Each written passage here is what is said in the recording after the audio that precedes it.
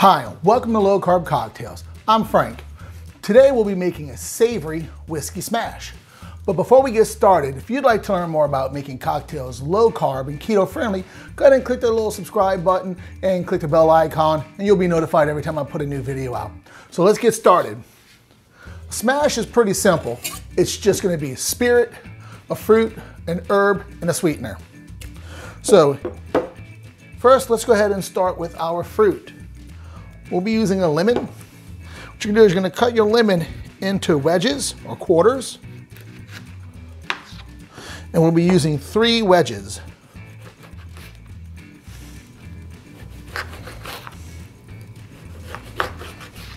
I'm gonna drop that into the smaller tin. All right, so that's that. Now we're gonna muddle those. So let's go ahead and start with this. Let's get this muddled really good. And this will normally produce about you know, just under a half ounce of uh, lemon juice. But muddling it by hitting those tops of those skins, you're releasing some of the oils off those lemon skins as well. All right, there's that. Next we're gonna do, we're gonna do three quarter ounce of a simple syrup. This is Monin's sugar-free sweetener. And there's zero net carbs in this. There's a what, I think uh, one, one gram of carbs, but it is uh, erythritol, so net carbs zero. So we have our lemons, we have our sweetener. Next we're gonna go with some mint leaves. And I'm not gonna muddle these up like I normally would, because what I'm gonna do is I'm gonna use the ice to kind of bash them around a little bit. Depending on your mint leaf size, um, if you got large mint leaves, maybe only need about five or six smaller mint leaves like I got right now, probably use maybe uh, eight to 10. All right, and that's it. Now for whiskey, I finally found a Louisiana whiskey I can stand behind. Uh, it's taken me a very long time. I've tried a bunch of different whiskeys that have kind of been put out through um, Louisiana distillers.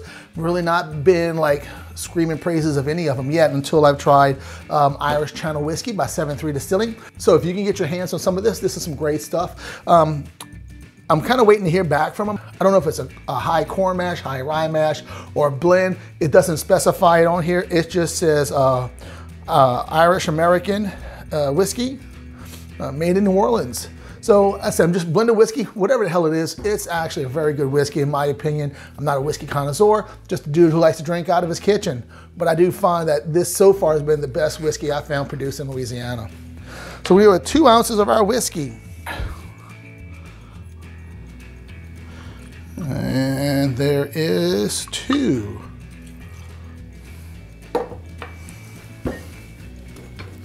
Now, the savory part, because I said this is going to be a savory whiskey smash. Um, come across this, Cajun 180 seasoning. Um, this is absolutely delicious stuff. Um, what I like about it a lot, it's that Cajun flavor without, without being hot. A lot of people think when you think Cajun food, it's spicy and it's hot. Hot's not a flavor. Um, this is very, very flavorful. Um, really enjoy this. So it's, it's getting all those Cajun flavors that you like that without all the pepper. Um, I think I talked to him, it's like 34,000 Scoville units. Um, which is pretty mild compared to all the peppers. I think it's like one of, one of, if not the lowest on a Scoville meter you can get for peppers. But anyway, I'm gonna do two pinches. One and two. Let me put that up. All right, we're gonna fill the other tin with some ice.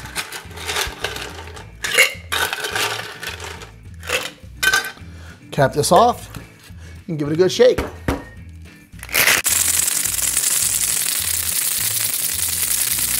All right, now you want to shake it a little bit longer than normal uh, mainly because the mint's not muddled, so we're using that uh, ice to kind of take care of the muddling on the mint.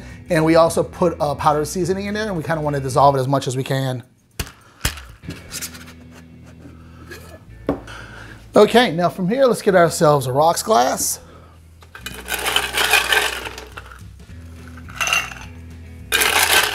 And put some fresh ice in it. And we'll go ahead and strain this into our rocks glass.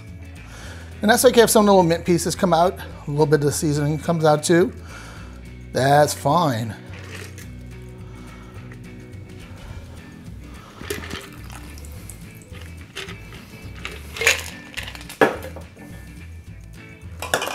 Now we're gonna garnish that with that last piece of lemon and a nice sprig of mint.